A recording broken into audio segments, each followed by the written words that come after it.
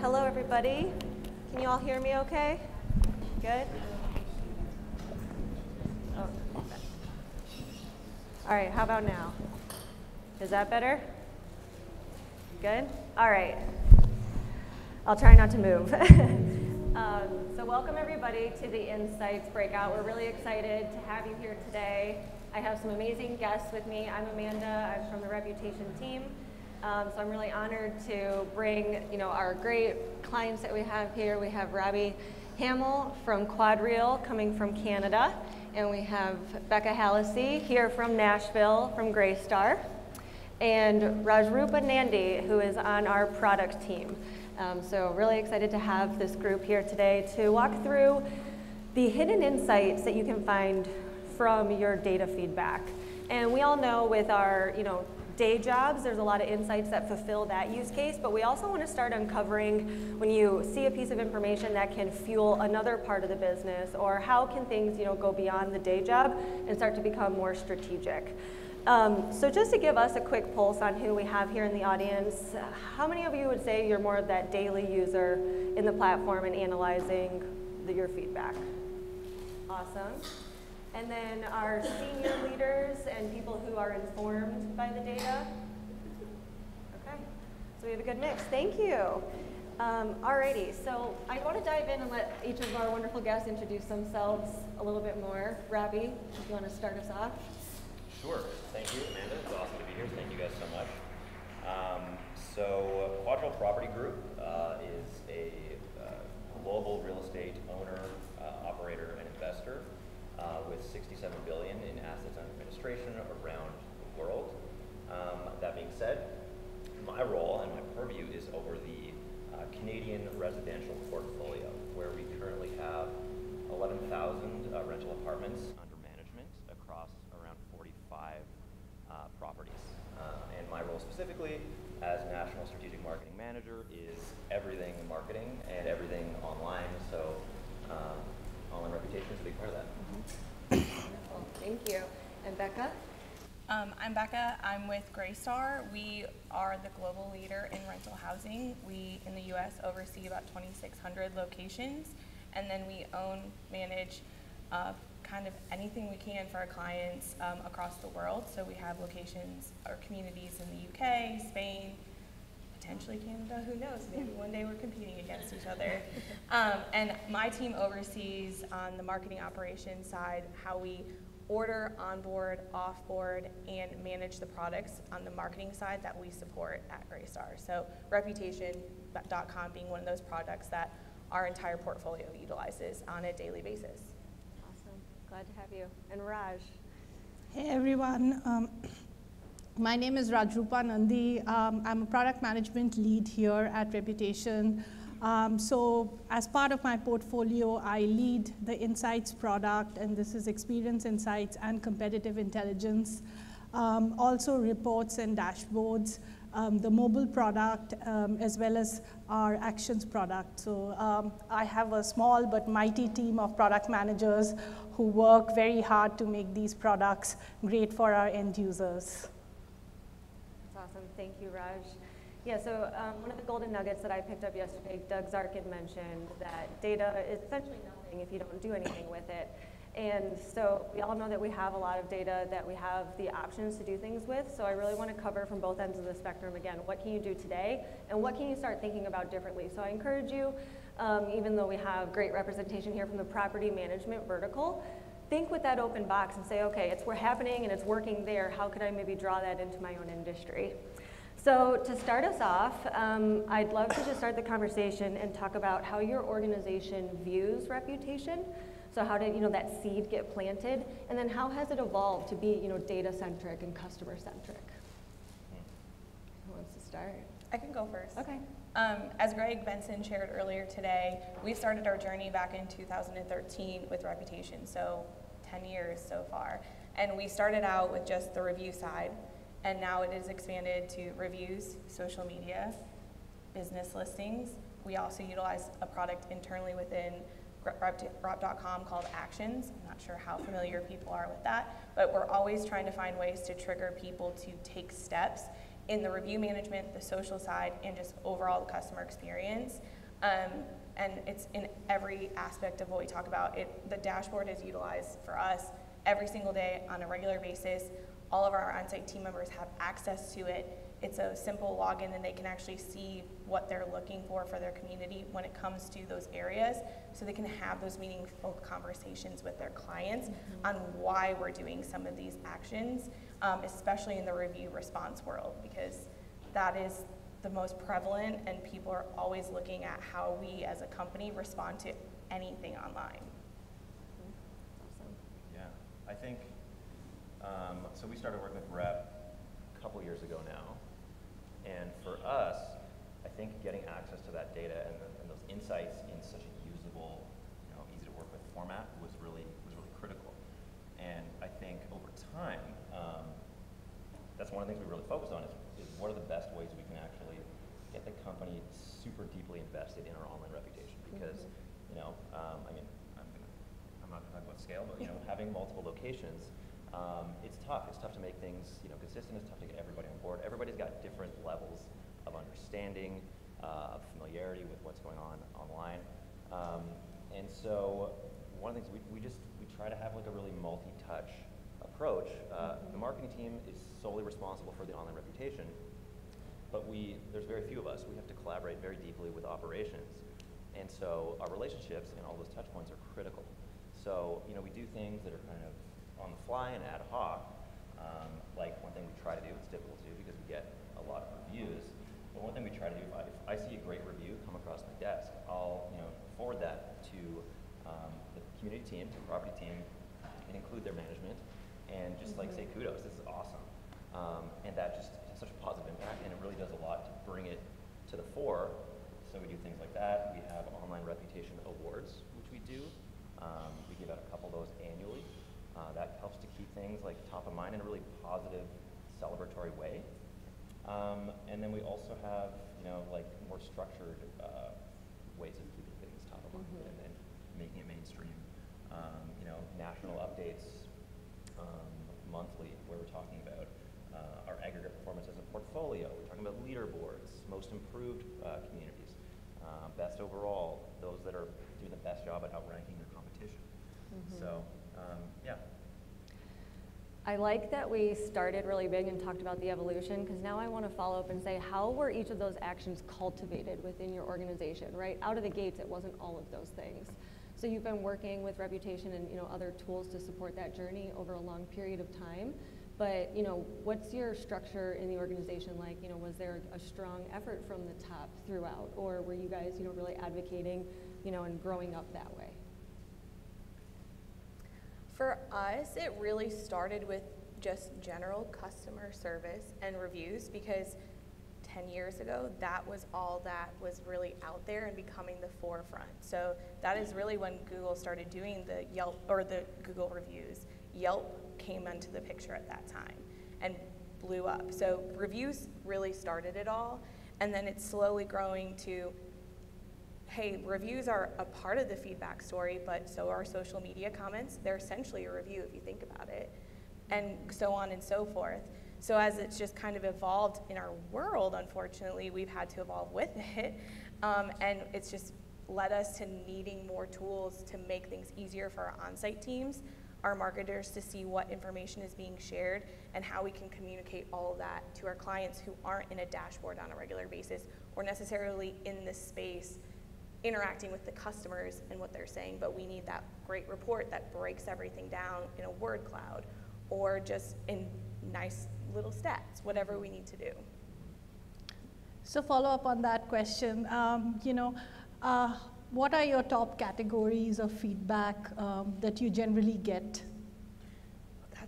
That's a big question. Can I go get my computer and pull the dashboard, please? Um, it really just breaks down. We have so many regions and different clients. Um, I, I don't really have an answer for you because we get feedback across the board from noise complaints to, hey, I can't pay my rent on time and I need some type of assistance in that way, or just full spectrum. So sky's Okay. the limits. It's just figuring out how can we get them to the right person to help them is the key, and that's what we look for. I would just echo that. I'd say even we see huge variation in what is like really topical and coming up again and again and again across our properties. Mm -hmm. um, it really varies by market. You know, if, if rents are super high in a given market, um, maybe that's going to be talked about more, especially if it's rent controlled. Um, if it's during COVID, you know, noise complaints, like all, all, that, all that kind of stuff, right? So it's almost like seasonal and it depends upon the market. It, really comes down to the feedback can be anything, but how can we get them to the right person to resolve their issue? And that's the key for customer satisfaction. I find it interesting too, though, when you're approaching that process, you're not assuming that it's all going to be the same everywhere. And so it does keep us on the toes a little bit of, you know, you can't draw these assumptions. The data can help inform those actual, you know, what's actually happening. Um, that's awesome. What would you say, like, who maybe did you get, get caught by surprise in your organization? Is there a team that, you know, started to benefit from this that you didn't, you know, foresee right away? Um, or how did you, A second part of that is how did you start embracing other members of the team to say this is valuable? Hmm. Uh, I can go first on that one. I think, so when we, before we onboarded with Rep, um, we did a bit of a, an audit of all of our communities, all of our properties, uh, just looking at what reviews they had, what was being said, and just Mhm. get a sense of, you know, what, what's our need kind of going into this. And one of the things we saw, we just had a handful of communities that had what looked like at first glance, you know, great online review, uh, or great online reputation because they're sitting there with a 4.5 star rating on Google. Looks great. The uh, competitor down the road has like a 4.2. We're in good shape. And then what happened was when we onboarded, um, we had a couple of great kind of aha moments where, um, and I love the uh, the reputation score, so uh, I can talk about that for a while. Yeah. But um, the reputation score was super you know, informative out of the gate, as was I mean, through the reputation score, comparing to competitors, because what we saw at these communities is that, um, yeah, maybe we were at a 4.5 and they were at a 4.2 or whatever it was, but you know, our properties hadn't had a review in like almost two years, Mm. and um, they only had like a handful of reviews, and so it immediately brought to the fore for a lot of folks internally, you know, that you really need to take this holistic picture. You need to look overall at the overall online reputation health, Mhm. which I mean, it's you know kind of common sense, I guess, but at the time that was kind of an organizational block. It was a, a hurdle we had to get past, and so it was critical, especially when down the road, as I said, the competitor might have 4.2, but they had a steady flow of positive reviews coming Mhm. in the door, and so that actually is a lot more valid and a lot more meaningful to the prospect, where compared to our properties, um, where it was like they might as well not have anything. You know what I mean? Mhm, It's so mhm. old and there's so little feedback. Sure, I like that. I think for us, the operations teams and marketing teams use reputation a lot over the years. And what's been a key change and has brought so many other departments is is the competitor side. So our communities can put their own individual property competitors in, but we do utilize the competitor dashboard. A lot of what was shared today, we've been utilizing for a little while, and we've been able to compare our top competitors to our individual assets and build a really solid story when we may be going after business opportunities or just trying to have the right conversations as to why a change at, at a community needs to happen because of the reputation Mhm. side of things. Mhm. I think that's a good segue then into our second major topic that we want to talk about is turning those insights into meaningful action. So we've already alluded to a few um, that are you know super awesome to tee up. Let's dive into rep score, Robbie, um, especially in your intro. Yeah. Um, you know how you got to the place of recognizing properties and having an award ceremony to the very beginning of kind of setting the stage of this is what's going on in the landscape. We have a metric to measure that. So I'd love to hear how you've turned all of that into external and internal action. Right. So, uh, as mentioned, we love the rep score because uh, it's, it is that holistic picture. And so, one of the things we've done is we've got these online uh, reputation awards, which is great. Um, what else? So, um, it's really important for us to be constantly uh, seeing improvement over time. Um, you know, and all the things that go into the rep score, we want to be increasing our uh, positive review volume. We want to be, uh, in- you know, hitting or achieving our portfolio-wide benchmark of four stars out of five. Um, every year since going live with Reputation, we have hit that mark uh, or superseded it, which is great. Um, and we want to be outperforming our competitors. Uh, and so having access, we don't have access to the in-depth competitive intelligence, but we Yet. Yeah, we we'll talk about We will. um, but yeah, and insights in the experience uh, uh, portion of the dashboard, where when we have those you know connection points with operations, I connect with our operations directors all the time. We talk about communities that have a rep score that's below uh, 500 is our benchmark for that. To see what's going on um, and to discuss you know what are the issues that are being highlighted, um, because operations really they're the ones that can can take those insights and, and put them to work. Right? So Robbie, on that, um, quick question on, um, you know, what is the follow-up action um, that's taken when you identify that there are, you know, certain locations where the rep score is below 500? Um, you know, you mentioned that you reach out to the operations director, and then how do you go about tracking progress in those locations? Yeah, good question. So we actually have quarterly recurring calls where I'll connect with every operations director to, to, to see, you know, um, uh, if there's anything that needs to be discussed. Um, and one of the things we do is we dig into to that rep score, right? There's, it's multifaceted. Yeah. So is the issue just that they're having a hard time drumming up reviews? Um, and if so, why? What's going on? You know, is there construction or is there an infill project? Is there something going on? And so with that, I can't always directly sitting in my chair in head office, I can't always, you know, uh, Mhm. directly impact. But what I can do is make sure that I do follow up, and that, and we do that, and I provide any support I can. If there is any marketing support that's required, um, maybe to provide you know better communication or anything like that. Often the issue is communication. Um, it's just a matter of staying on top of it, keeping in touch. Um, pretty proud of the, rep- the relationships that I have with the operations folks uh, because it's just so fruitful. Yeah, and always helps to have a data-driven conversation because you can see the data right there as to, you know, Yeah. why the rep score is suffering. Yeah. Um, Becca, I'd love to dive in. I know when we were speaking a couple months ago as we were preparing for this, you said that you have a lot of internal benchmarks as well. So Yes. I'd love if you could describe to us how you guys measure, how you define success, and also how you measure that. Yeah, so we um, do have a couple of KPIs. Of course, some of those are proprietary in terms of the actual number, but we look at the RepX score. We also really focus on response rate because people want to be responded to in a timely manner. And then that average star rating is pretty much where we our, our bread and butter is in terms of kind of key metrics we hone in on and focus and have conversations behind. And that just allows us to help the on-site teams and marketers come up with the plan to improve or understand what the data is telling them um, so that they can make those changes.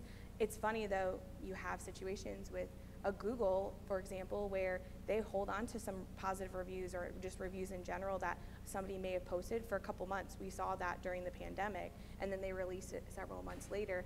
And it's a lot, it's helping our teams understand that they have to look at that report daily and make decisions because they could have a review pop up from two months ago that they never even were able to resolve because it just actually got released on Google and they have to go back and fix it. So having those conversations and having people focus on response rate makes them have to look in the dashboard, respond to the reviews, and then they, I mean, we get emails all the time. This review is two two years ago. Where did this come from? And we're like, that's Google for you. Like we don't know. So it's kind of funny, but they know to a T now because they know they have to respond in a certain period of time. And if a review from two years ago comes up, they kind of are like, is this going to impact my response rate? So it's getting people in the dashboard. And then, as Greg also shared earlier, uh, we actually have where bonuses are tied into some of our reputation management and customer satisfaction side, um, which is a new initiative and kind of the next step in our entire program. Um, so has competitive intelligence helped in any way for you to like define the benchmarks around performance? Oh, absolutely. And when you're four times the size of some of your competitors, we have to find the right middle ground between what is a good benchmark because we are so much larger than a lot of competition. Um, so it's helping people understand, even regionally, who they compete against, how that coincides with some of the benchmarks we try to achieve. That's awesome. Um, I'm going to actually follow up on that question too, because you mentioned outside um, the other locations. So you've empowered at your corporate level, but the empowerment has gone down to that location level specific to competitive. Would you dive into that? Sure. So um, we allow in the platform, we allow teams to add some of their direct competitors into the dashboard so they can actually see what's being said comparing themselves to other, like somebody across the street from them, and it could even be another Greystar property in some cases. So if there is a resident experience that they need to achieve because across the street somebody is doing everything they can for their residents, they can start actually seeing that information and how scores are fluctuating. Um, the other thing that we look at is looking at the reviews and the number of reviews coming in kind of can tell you if somebody hosted an event recently and maybe we need to step up our game in that sense or what can we potentially do on social media to get people excited um, about moving in with our to our community whatever those needs are um, by having that in the dashboard it gives them an extra set of tools that they didn't have at their hands before besides actually doing a google search and taking the time to put their own mm-hmm. report together. Now they just click a button and they're right there and can download that report and share it on a client call or whatever they need. Mm-hmm. Something that I liked that both of you guys had touched on, and I'll, I guess, round it out as a recap, is you mentioned uh, your team has a quarterly or a monthly and quarterly review that they can look forward to. So you've provided consistency and structure, but then they're also, I guess, empowered to think, okay, in anticipation, what's going to show up here? How you described, you know, the review team or this other, the locations. You know, you can say we want you to know who your competitors are, but when they start taking that onus on and okay, I, I do know that this person is impacting me, then that two-way street, it feels as if that's where a lot of magic can happen. Yeah? Yeah. That's awesome. Um, Raj, do you have anything that you want to circle back on this topic? I think I'm good. Okay, wonderful. I'm just going to flip side here. So um, the next thing that I think I want to dive into is fueling future success. So we talked, you know, a lot about things that help fulfill your current initiatives. Um, where are areas that you have found the insights allow you to be proactive? So for us, I would say it is understanding the trends that are kind of happening in the digital space. We all know that that's constantly moving. And so if we can find the short-term trends and potentially start identifying long-term trends, we can start looking for products or tools or strategies, building those out to allow us to adja- adapt and be agile. We are a huge company. We can't just make a shift overnight. We have clients to talk to. We have mm-hmm. on-site teams to train. So by us constantly looking at that and using tools like insights to see how things are changing, it allows us to start preparing for things that we weren't expecting. It's kind of like digital disaster planning is the way I like to look at it. So um, you're constantly having something change, and how is a, how a large organization can be agile and make a shift within two months is a big key factor, and it's important to our clients that we identify those areas. I think one for us, uh, and I'm looking forward to being able to do this in a much more informed way soon, um, is around uh, you know uh, differentiation from competition. Right at the moment, we have the kind of the classic competitor report, competitor insights report, which is great because for us, what it does is it flags you know that this community is, is not leading their local competitive set right now, and so let's dig in and find out why. So that's kind of um, uh, I mean, that's one of the ways that we're able to be proactive with the data. Um, I'm really looking forward to soon, um, really being able to kind of like do what you guys have been doing for a while, um, which is to put, uh, you know, super easy to, to leverage information in the hands of our leasing agents so that when they're having that conversation with the prospect, they have a really good understanding of differentiation. You know, what's uh, whether it's something that we ha- don't have or have, vice versa. You know, down the street, um, just to be able to help the leasing agent have that you know informed, intelligent conversation with the, the prospect. Um, that's one thing, one thing I'm really looking forward to. Lovely. Um, what is something in the short term that you guys are working towards and how data insights are really fueling that? I think I'd probably just say that same one again. Yeah, okay, Yeah. okay. Yeah. Nope, that's good. Yeah. In the short term for us, it's right now we're really focused on the action side of things. So training people to take initiative and notate what they did to help that person in a back end system. So if we get another call, we can actually start tracking how often that's happening and see if there's a overall kind of culture thing that's happening on site potentially. So that's, I think, the first step um, from a short term perspective. But who knows? It could change. It changes every day for us sometimes. So. Would you say, um, I mean, especially, I mean, all industries were impacted, right? But with COVID and now we're coming out on the other side, right? That agility really mattered then. Would you say that your organizations had that before, or are you, you know, carrying that momentum now after that learning experience? I would say we learned quick during that, but by having a tool like Insights with Rep.com, we were able to build language into the platform so we could see what other companies were doing. And then we were able to adjust our strategy or provide support in different ways that we wouldn't have been able to do without a product like that. And the, what I kind of learned through all that is we can actually get things implemented pretty quick if we just ask for them, um, Mhm. which that's kind of a key. Like everyone is way more ag- agile now, so it'll be fun as more initiatives change how products and vendors and their clients work together to make things happen faster, especially in this digital world, because Mhm. there's nothing like waiting for software updates to happen, kind of a Right? thing. yeah. No, it is. It, I guess it's a two-way of the customer experience, right? Mhm. Like we're so focused on our customers, but in a time like that, we're also a customer, and we need, you know, all of our partners to help support that. Mhm. That's awesome. What about you, Robbie? Do you mind repeating the question for me? I was hoping you weren't going to ask me that. no, I was curious. Um, before COVID, or you know, would you say that you were agile before that, or are you carrying the momentum from, you know, almost needing to be more agile? I mean, I think yes to both. Uh, I think we were reasonably agile before, um, but I think like like everyone, I think there, there was a, a need to be more on the ball. Um, there's so much changing all the time, especially when you know across locations, across regions, Mhm. regulations were different. Um, so you, I mean, I, I think we Mhm. have processes now in place where we can enact things quicker, probably than we could have before. Sure. Yeah. And it sounds like spread the message throughout the organization quicker. All teams can get on board much faster. Yeah. Yep. So did you end up creating any, um, you know, custom dashboards or any reports just around, you know, the data that you were seeing um, during the COVID period that you, you know, shared across your organization?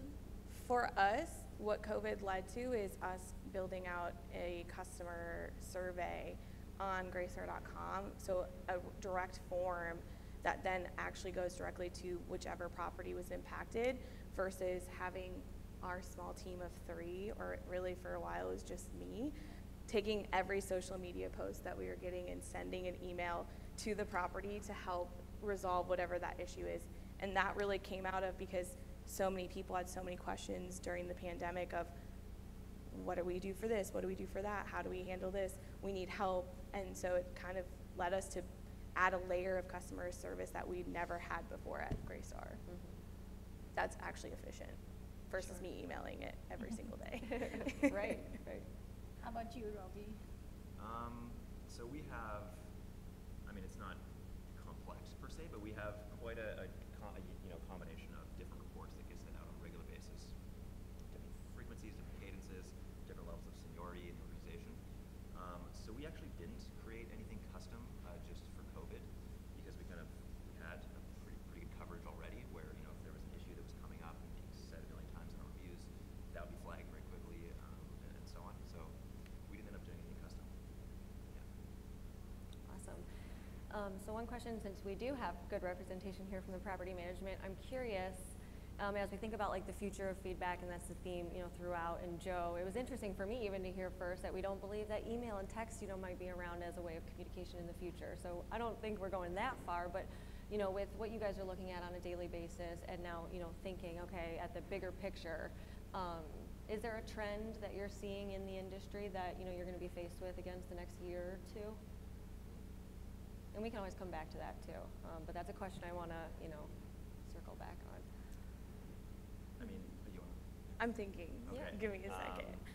Um, I can, I can jump on it. Yeah. Um, I think, and this is kind of everywhere, that there's just uh, an explosion of new technology and new things to pilot, new things to test. Um, now, Canada typically, uh, I don't want to speak out of turn, but I feel like Canada typically is a little bit behind the U.S. Mm.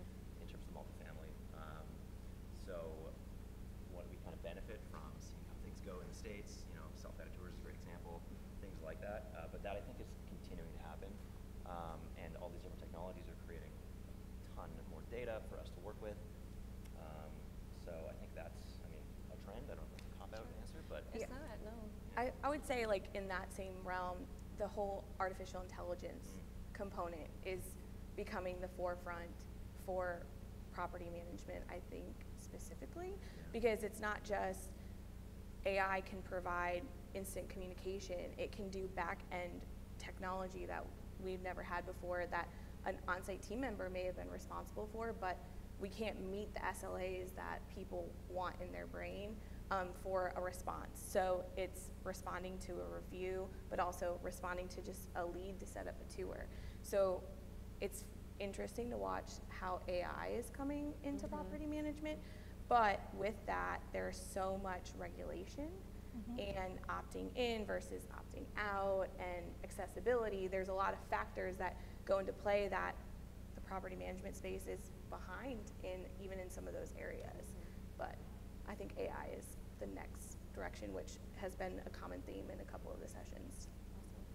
And I guess when that trend picks up more, you know, you would also want insights around Mhm, that whole exactly. experience. Yes. So, yes, you, because you have to build out AI answering questions that the common person would want to ask. Mhm. So you need insights to build those questions correctly. Mhm.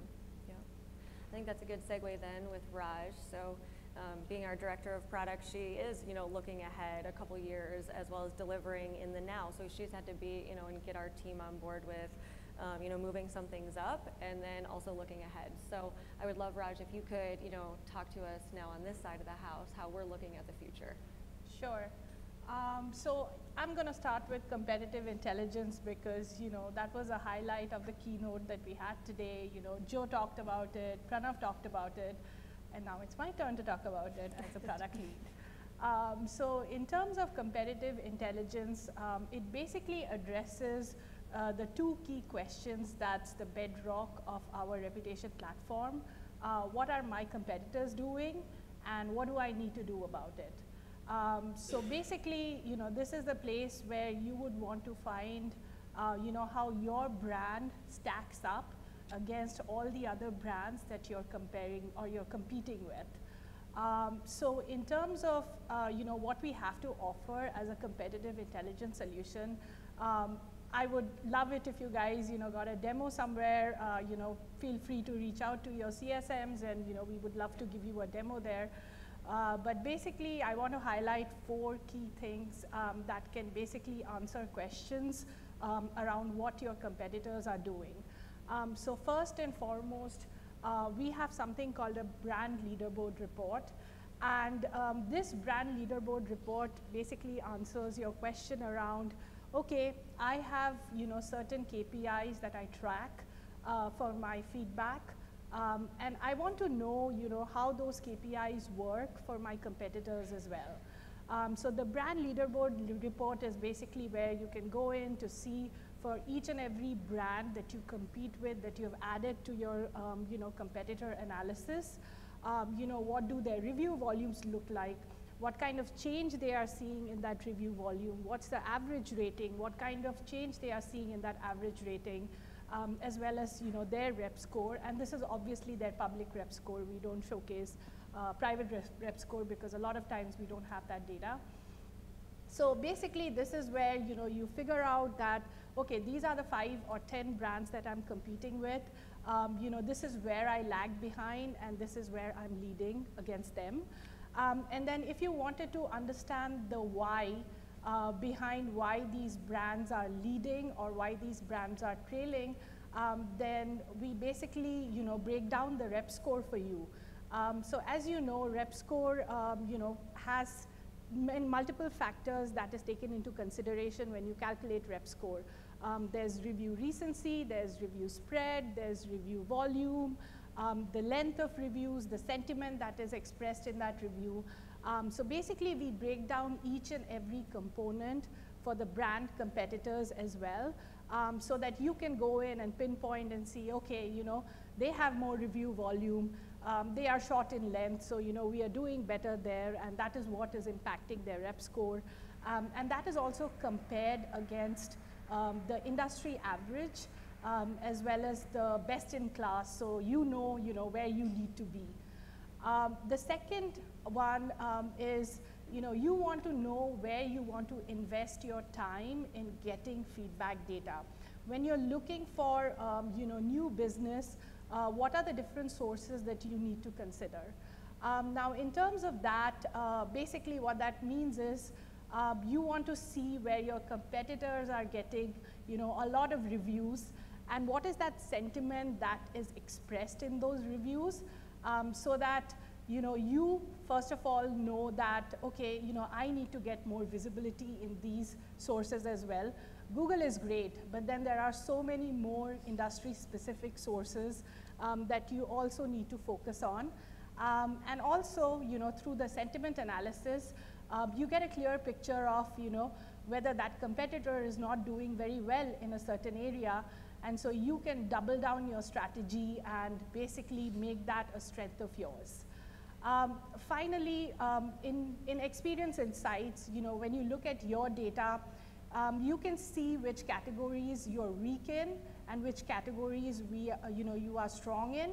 And we bring in the same kind of competitor data um, for you to basically figure out, you know, where your competitors are strong, which categories they are weak in. Um, so basically, you know, you can put in strategies in place uh, to make their weaknesses your strengths.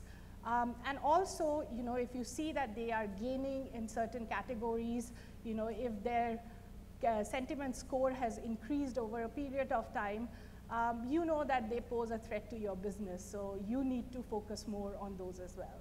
Um, so these are the four, uh, you know, strategies that I advocate when you're looking at, you know, how your competitors are doing. And obviously, there's much more to explore there. Uh, but you know, this is something that I always um, ask our um, you know, users to do to figure out how they want to put together a competitor strategy.